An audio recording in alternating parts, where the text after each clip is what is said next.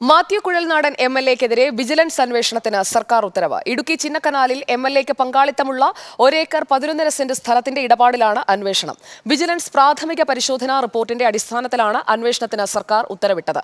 അന്വേഷണത്തെ സ്വാഗതം ചെയ്യുന്നുവെന്ന് മാത്യു കുഴൽനാടൻ പ്രതികരിച്ചു. ചിന്നക്കനാലിലെ വിവാദ ഭൂമി ഇടപാടിലാണ് മാത്യു കുളനാടൻ എം എൽ എക്കെതിരെ വിജിലൻസ് അന്വേഷണം. പ്രാഥമിക പരിശോധന റിപ്പോർട്ടിന്റെ അടിസ്ഥാനത്തിലാണ് വിജിലൻസ് അന്വേഷണത്തിന് സർക്കാർ ഉത്തരവിട്ടത്. ഭൂമി ഇടപാടിൽ ഉയർന്ന ആരോപണങ്ങളാണ് വിജിലൻസ് അന്വേഷിക്കുക. യഥാർത്ഥ വില മറച്ചുവെച്ച് ഭൂമി രജിസ്റ്റർ ചെയ്തു എന്നാണ് കുഴൽനാടനെതിരെ സി പി എം ഉന്നയിച്ച ആരോപണം. വാണിജ്യ ആവശ്യത്തിനുള്ള കെട്ടിടം നിർമ്മിക്കാൻ അനുമതിയില്ലാത്ത ഭൂമിയാണ് കുഴൽനാടനും സുഹൃത്തുക്കളും വാങ്ങിയത്. അവിടെ റിസോർട്ട് പ്രവർത്തിപ്പിക്കുന്നു എന്നായിരുന്നു മറ്റൊരു ആരോപണം. വിജിലൻസ് ഇക്കാര്യങ്ങൾ പ്രാഥമികമായി പരിശോധിച്ചിരുന്നു. വിശദ അന്വേഷണം ആവശ്യമാണെന്ന് കാണിച്ച് സമർപ്പിച്ച റിപ്പോർട്ടിനാണ് സർക്കാർ പച്ചക്കൊടി കാണിച്ചത്. വിജിലൻസ് അന്വേഷണത്തെ സി സ്വാഗതം ചെയ്തു. അദ്ദേഹത്തിന് അനിവാര്യമായിട്ടുള്ള ഒരു നടപടിയിലേക്കാണ് അദ്ദേഹം എത്തിച്ചേർന്നിട്ടുള്ളതാണെന്നുള്ള സ്ഥിതി.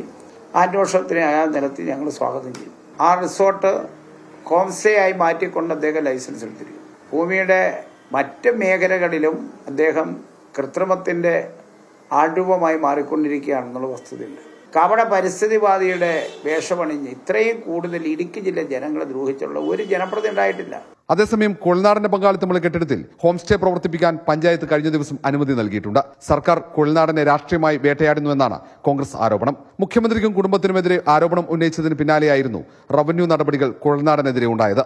ഈ സാഹചര്യത്തിൽ വിജിലൻസ് അന്വേഷണം രാഷ്ട്രീയമായി പ്രതിരോധിക്കാനാണ് കോൺഗ്രസ് തീരുമാനം. Reporter R Roshipal in reporter Thiruvananthapuram.